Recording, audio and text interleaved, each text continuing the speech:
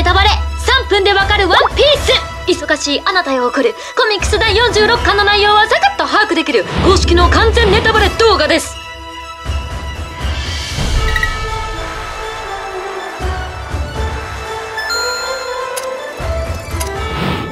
ついに裏切り者の黒ひげを見つけたエース。対する黒ひげは闇闇の実の力を発動。黒ひげはこの力を手に入れるため白ひげ海賊団の仲間を手にかけたのです。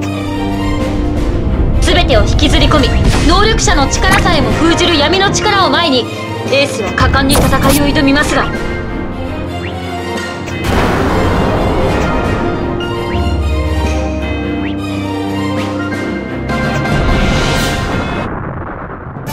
さてこちらは魚人島を目指して公開中の麦わらの一味。海に浮かぶ樽を見つけ中身を確認しようと開けてみると樽の中に発光弾が。嵐が近づく中気づくと辺りの様子が一変。立ち込める霧の中から現れたのは幽霊船。しかも骸骨がお茶飲んでるんですけど。幽霊船を前にルフィが我慢できるわけもなく早速乗船。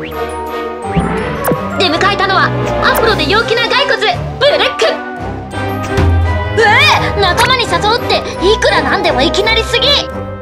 ちなみになぜ骸骨なのかというと実はブルック数十年前に一度死んでいるんです。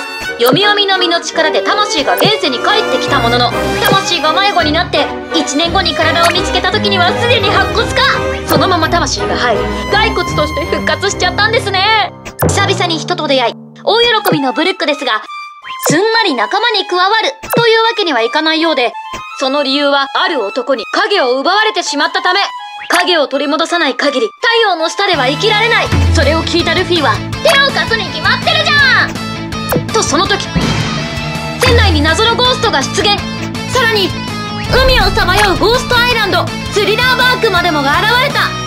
さっきの樽もこのスリラーバークが獲物を見つけるために用意した罠だったのです。奪われた影を取り戻すためスリラーバークに乗り込むブルック。もちろんルフィも追う気満々。しかしその矢先ナミウソップチョッパーの3人が忽然と姿を消してしまいます。さらに怪奇現象はまだまだ続く。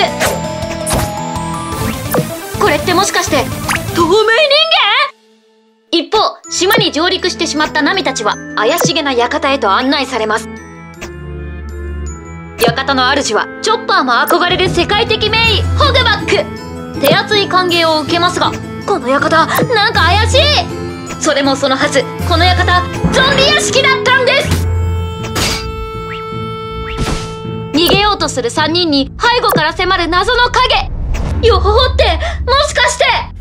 ナミたちを探しに出たルフィたちは森で出会った老人にある男を倒してほしいと頼まれます。男の名は月光モリアこいつが人々から影を奪った張本人。そしてその正体はなんと桜花七部会。ということはあのクロコダイルと同格？予期せぬ大物の登場にルフィたちの運命やいかに？続く。チャンネル登録よろしく。いいと思った方はいいねボタンを押してね。